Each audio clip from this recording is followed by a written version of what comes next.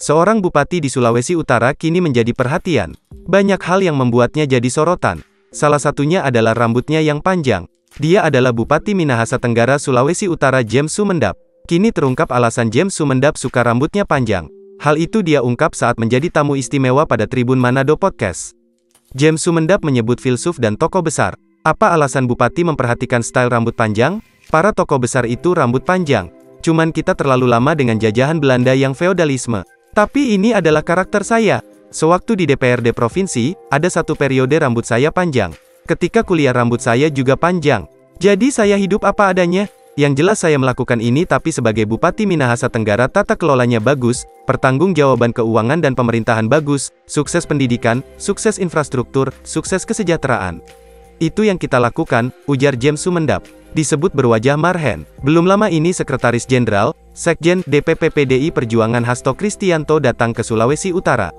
Dan Hasto Kristianto bertemu dengan James Sumendap dan mengatakan bahwa James Sumendap sebagai kepala daerah berwajah Marhen dan selalu tampil nyentrik. Apa respon Pak Bupati? Dan apa sih Marhen itu menurut Bupati? Tapi saya tidak boleh jadi seorang petani, karena saya kepala daerah. Jadi berwajah Marhen itu filosofinya adalah tetap low profile dan bersama-sama dengan rakyat.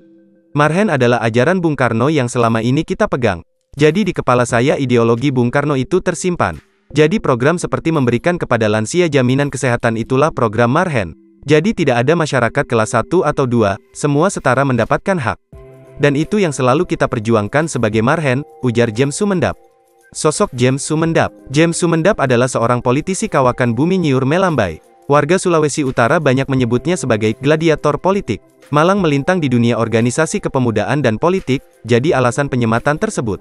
Tercatat, James Sumendap pernah menjabat sebagai anggota DPRD Provinsi Sulut. Menjabat selama dua periode, JS mewakili daerah pemilihan Minahasa Selatan. Di organisasi kepemudaan, ia pernah menduduki jabatan ketua KNPI.